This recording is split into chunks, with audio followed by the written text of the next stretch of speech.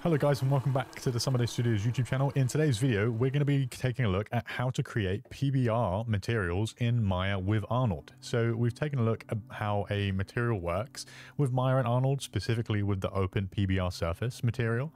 We've looked at what the different inputs do, like diffuse for the color, roughness, metalness, and the normal, uh, or the bump. So today we're going to look at how we can plug PBR textures texture files, texture maps into these inputs to create realistic looking materials.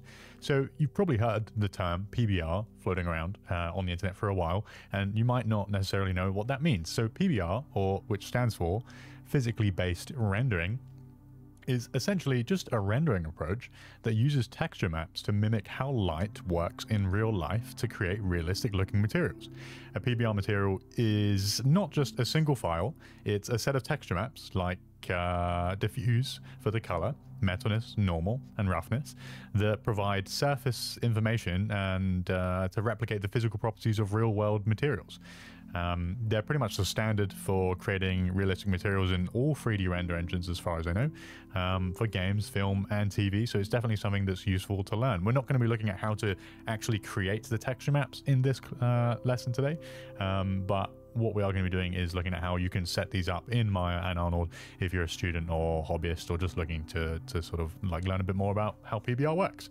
So I just have a cube here that we're going to use as an example. You are going to need a model with UVs. A default cube will work if you just want to experiment today that already has UVs or if you have a model already in mind, uh, regardless of what it is that you have that you've done UVs for, um, you can use that too. Uh, there's a number of different places you can get PBR materials from for free, including all the maps, diffuse, roughness, metalness, normal, etc. Uh, one of those being Ambient CG. They have a huge library of materials from everything from sand to wood to metals to grass to snow, basically whatever you're interested in. Cake as well, I think. Um, Polyhaven as well is another great one. This one integrates really, really nicely with Blender if that's what you're using. And again, they have everything here. You can see the list on, on the left-hand side. They've got terrain, floor, brick, wood, concrete, fabric. Um, these two are both free options, although I think you can donate and they have some more premium tier things that you can unlock by, I think, subscribing. Um, so I'd highly recommend that you check these sites out. They're incredibly useful. I've been using them for a long time. Um, some more paid versions as well. And just by the way, we're not sponsored by these guys at all. These are just different resources I've used and that you can use. Um, Poliigon as well, uh, a company run by the uh, by Blender Guru, or at least started by Blender Guru. They have fantastic materials as well that you can purchase. Uh, these are paid um, as opposed to Polyhaven and Ambient CG, but they're very, very high quality. Um, and the same goes for Quixel Megascans as well. These are really, really, really nice materials. They're, uh, I'm in the UK, so they're about 90 pence each. Um, probably something similar in, in dollars, and, and I'm not sure about the pricing in the rest of the world, but they're relatively cheap for what they are. And yeah, so that's just four different places you can get them from, two free ones and two paid ones. Um, but for today's video, I'm going to be using a specific material from Polyhaven, this wood shutter material. So I'll go ahead and include links for all of these in the description. Um, so if you want to follow along, you can download this specific one. They come in a few different resolutions from 1K up to 8K. I've gone ahead and downloaded the 4K. I would recommend that you download either the 2K or the 4K. Don't worry about the 8K. It's way too big um, for what we're looking at today and, and what most people will be using. Uh, so once you've downloaded that, go ahead and store that in a place that makes sense and open it up. So you're going to have a few different materials here and you'll see familiar names like diffuse, normal, and roughness. There's a displacement here um, and I've made videos on it in the past, but we won't get into what that is today. Uh, so what we're really looking at is these three. There's no metalness, and now if this were a metal material, we would have a metalness map, which looks a lot like the roughness map. It's a black and white values. Um, but again, we won't need that today because this is a wood material. So you don't have a metalness map unless you're creating a metallic material. So this is what they look like. The diffuse is not just color information. Diffuse is literally only color information. We don't have shadow in here. We don't have light values. You can see how it looks very diffused, right? Hence the name. It's The light is very, very plain and simple. There's no shading. Um, we literally just have some very, very nice color information, right from the wood grain to these little bits on these, uh, these bolts here. The roughness, as well as we talked about in the past, is just information that is uh, black and white, values between 0 and 1, to determine how rough or how shiny a surface is. So this being wood, it's not particularly shiny. Uh, it's not got any sort of varnish on it. It's quite old wood, like something you'd find on a park bench. So this is mostly white. We've got greys in here too, um, but this is mostly white, so it's going to be quite a rough surface, not very reflective. And then lastly, we have the normal map as well, which is, if you haven't seen one of these before, it looks like a crazy sort of kaleidoscope of colors. Um, these work a little bit differently. They essentially, as we talked about in the past, they use tricks of light to create uh, surface detail and bumpiness, right? Like you see here in this wood, like this crack, um, where there is none. Without actually modifying the model, it creates the illusion of surface detail. So this is your normal map and it will generally look like this. So how do we go about plugging all this in? Well, select your model, for me, my cube. We're going to hold down right click, go to assign new material, come to Arnold, and then we're going to take the open PBR surface. You can use the standard surface as well as you want. That's an older uh, Arnold material. Um, works exactly the same way, apart from a few minor differences. All the maps go into the same place. Um, so feel free to use that too, but we're going to use an open PBR surface. Okay, so once we have that plugged in, we're going to go ahead and press our little blue ball up here to open up the Hypershade editor. And we're going to select our new material from the list and we're going to press this button here just to graph it so that we can see it. Always good practice, I think, just to rename these. So I'm just going to call this uh, wood material, just so we know what this is in the list. So like we've gone through before, we have all our inputs, the base color, which is where our diffuse will go. Um, the specular roughness, which is where you might have guessed our roughness will go, and the normal camera, which is where our normal map will go. So once you get used to this, you can very, very quickly uh, figure out where things are supposed to go. Um, and it's kind of like a bit like Lego, really. You're just plugging things in where they're supposed to go, right? Like the square hole, or the square goes in the square hole. It's, it's just essentially a more complicated version of that, and you'll get used to it over time, even if it looks complicated now. So don't worry about it. So we're going to go ahead and press tab and we're going to create a file node, but specifically we want the file texture node. Okay, press enter and we'll create that. And then we'll just click on that. And on the right hand side, we've got an image name with a little folder here and a space. We're going to click that folder. That's then going to open up a file browser. I'm just going to copy the file path that I have here for my texture material. Texture material for the textures that I've downloaded. I would recommend storing that somewhere where it makes sense and you can remember where it is.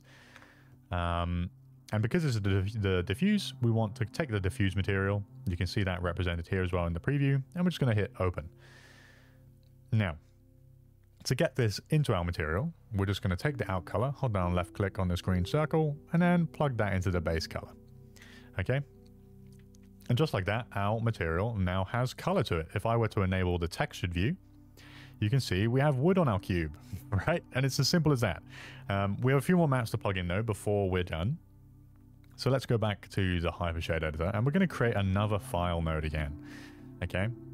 And in fact, we're going to create another file node. So we'll create two in total because we have three maps. Okay. So if every time you want to plug a file node into here, you need to create a file node every time you want to plug an image texture in here, you need to create a file node. So we'll use this one here as our roughness. So we'll press the little file icon again. We'll go back to where we keep our material. And we're going to click on the roughness this time. We're going to click open. Okay, and you might try and drag the out color like we did with the diffuse into the specular roughness, but it doesn't actually work. And we've gone over this in previous videos, uh, but what you want to take is either the out alpha that will plug in, okay, or you can take just one of the out color channels, be it red, green, or blue. I normally like to take the red, but you can take the alpha too. Okay? One last little thing we need to do when we're plugging in roughness is you need to change the color space from sRGB, go to utility, and then click raw. If you don't do this, the roughness map will not function as intended. It needs to be in a raw color space, okay? The reason for that is because realistically, even though there is color here in the form of black and white, we're not actually looking for color information. We're just looking for specific, like single channel grayscale values uh, that shouldn't be corrected in any way with any sort of color space. We can get into what a color space is in, in another video, but for the sake of this, just set this to raw um, and also turn on alpha is luminance.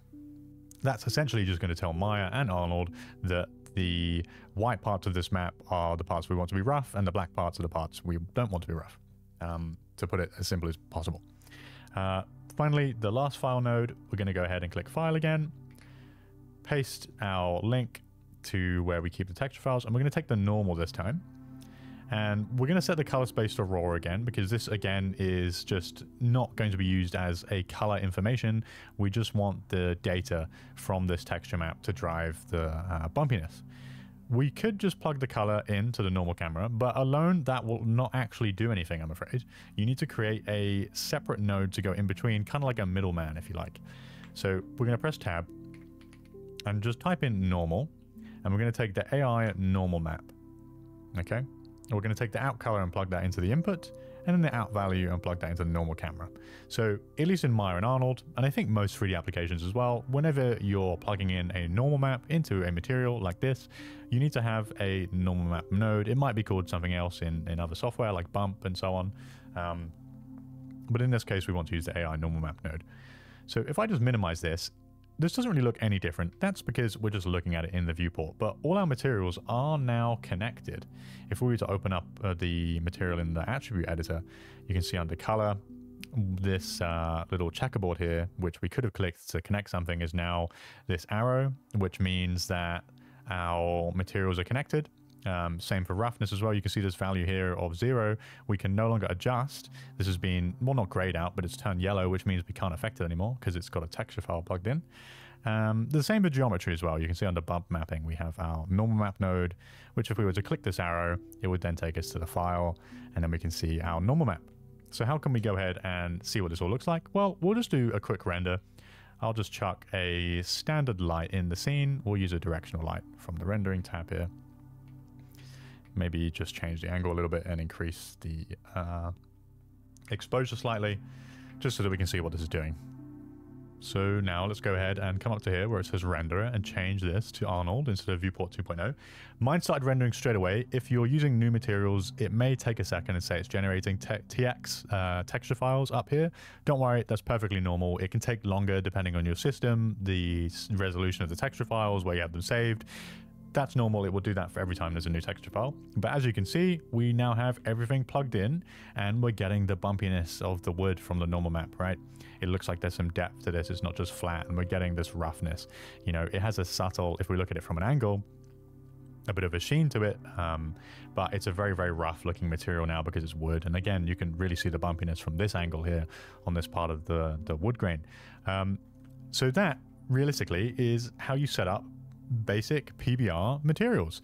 You just plug in those free maps and you can see it's very, very easy to go in, kind of like Lego, right? It just pops together once you know what to use. Um, and like I said earlier, if you were going to use a metal material that you downloaded from one of the sites I mentioned earlier, you would just plug in the metalness into the base metalness. You would um, set that to raw as well, and alpha is luminance.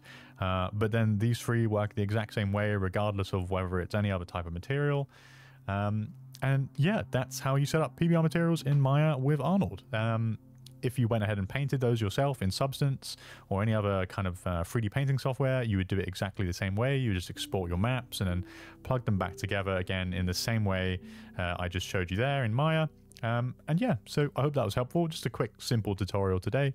Uh, if you have any suggestions for future videos, please do let me know. I always love to hear those. Um, if you have any questions as well, or if this is not working for whatever reason, please let me know too. Um, and yeah, thank you very much for watching. Like and subscribe, and I'll see you in the next one. Bye bye.